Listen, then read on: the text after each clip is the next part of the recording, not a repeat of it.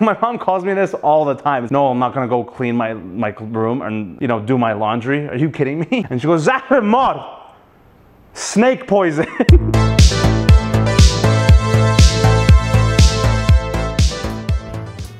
Qurbanat Baram? It means that I love you so much. That basically means like I would sacrifice myself for you, which like sounds very like excessive. But it's basically means I will kill myself for you. But like, does it when you when you say it for too long that way, it doesn't actually start making that sound. It's, it kind of changes to a different meaning. We just want to show the person that we care about them and how much respect we have for them and how much affection.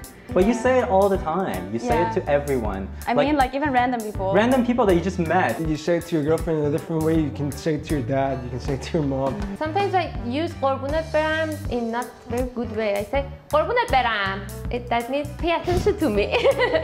But yeah, it's very dramatic, just like Persians. Jigara mani. Am I? it's like you're my liver.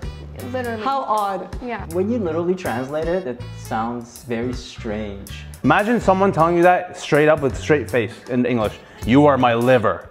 That's what this sounds like. Actually, I think it means that you are my heart. Well, you see how that Persian thing works. We change our definitions daily. We like to use those two words, liver and heart, interchangeably. Oh my god, this one. Oh, next one is Azizam. Oh, this one's cute. Azizam just literally means my dear. This one's very common. It means what, my dear? Any non-Persian that has dated a Persian girl or guy, they know they should know this word. Like you hear Aziz, Azizam, like every other sentence. Personal experience when my mom is like, I did something wrong. She's like, Azizam. And it's so cute. I use it a lot. I use it a lot too. Tarof. Pretty much Persians fucking su- suffering themselves, like so they can like pay for someone else at like the, a dinner table and they go out. There are wars, family wars, for tarof. So it's like a very complicated form of Iranian etiquette. Like tarof can be like a good thing. Sometimes excessive tarof is very annoying. Where it's It like some people are very very tarofy. It's just like you don't know what they want. Like, you know, stay at my house, take my bed, like eat my food, like let me give you the, all the money in my pocket. I'm like, please just have this, please. And she's gonna keep insisting on not having it.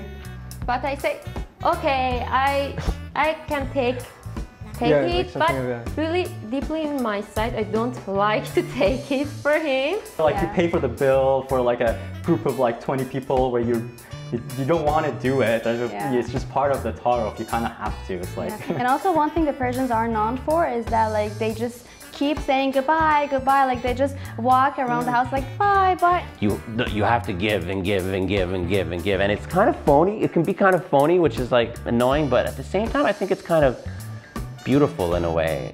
I dare you to get up and straight up pay right away for a bill when you're with Persian people.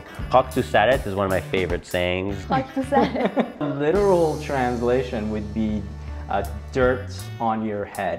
When you lose something that your friend tell you, how to say it. your friends does something that like okay so so texting her ex for example i'd be like how to say it why did you yeah, do it Yeah.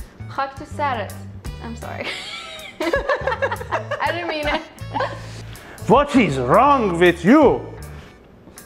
Yeah. Khastagari.